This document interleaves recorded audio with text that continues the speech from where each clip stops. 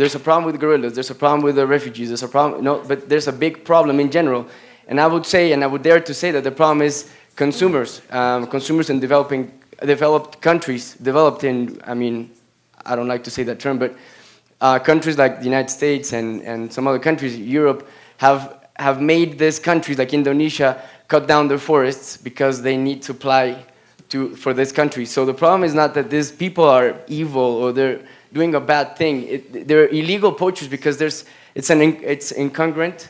Um, because you say it's illegal to, to cut down the forest, but yeah, but we need palms, you know, so people would, would do it. But we need, we need carbon, we uh, coal, then you cut down the trees. So it's illegal, but it's also that there's a need. It, it's an imbalance in, in the decisions. So um, I, I, stood up to try to answer something, uh, to ask something uh, while the orangutan discussion is, and I, I'm not into are they or not they're going to extinct in 10 years i hope they're not and i hope you win your bet but i do too yeah, we all do. i really hope you do but the problem is not the orangutan and, and i think the, the debate is not on the orangutans it's on the, the, you know, the source of the extinction. And the source of the extinction is that there's a need for what you said, um, biofuels to bring to developed countries. So there's a bigger issue here and that we're not considering. The question is not, um, the question isn't what can we do, it's what will we do? And I think we should start answering that. This forum, there's a lot of scientists, a lot of people, and nobody's answering what will we do. That's the question. What will we do?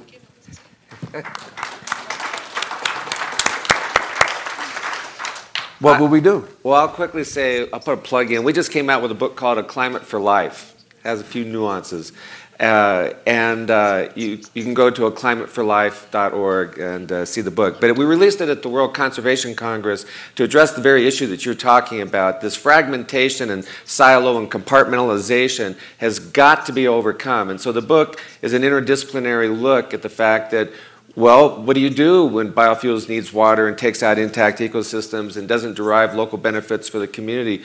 You have to come up with other alternatives. So we've, we've for the first time in my organization in 20 years, actually a large section of the book is on global uh, energy and water problems and how do you begin to address them in a way that creates a win-win for sustaining economic growth, addressing poverty issues, and uh, looking not just in the short term, but as you, the big issue I think is these solutions. When you scale them globally and scale them over centuries, what do they look like then? Everything looks great on a small scale, but it's the, the, the once they kind of lock in and start growing at, at such magnitude, that's where the big problems arise. And I think we need to think through and be a little bit more envisioning of uh, what the consequences are and, and, nip it in the bud now by doing better systemic planning? I'll, I'll be very brief in my answer.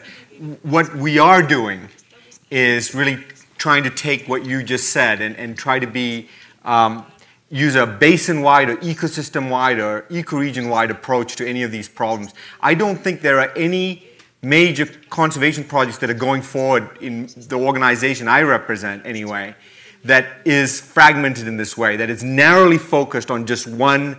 Um, we're going to say this species, we're going to prevent this one problem.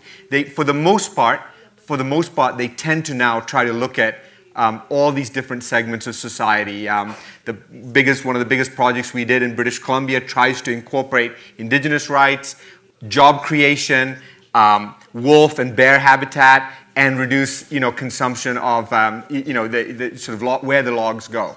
So, you know, that is a great approach.